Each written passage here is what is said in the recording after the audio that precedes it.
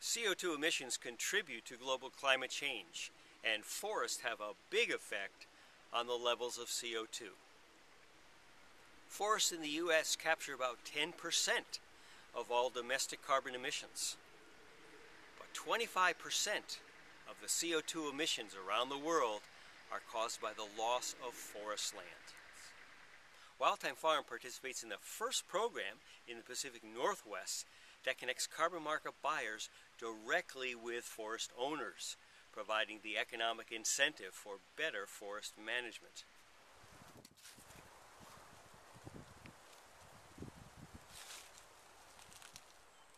This 100 acre Wild Thyme forest is managed according to Forest Stewardship Council guidelines. It contains over 2 million board feet of Douglas fir, red alder, big leaf maple, and western red cedar. Our carbon model evaluates the carbon benefits that can be achieved by improved forest management. Above and beyond business as usual, the conventional short-term rotation model.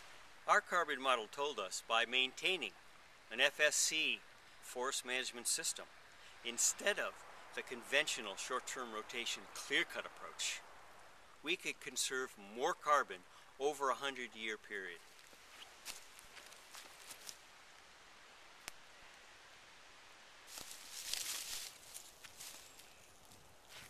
This forest is a carbon sequestration machine.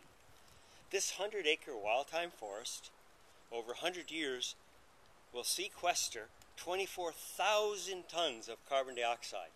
That's 240 tons of carbon dioxide every year. If public and private stakeholders manage our forests for carbon sequestration, our forests can capture vast amounts of atmospheric carbon dioxide and help us achieve planetary climate goals by the year 2050.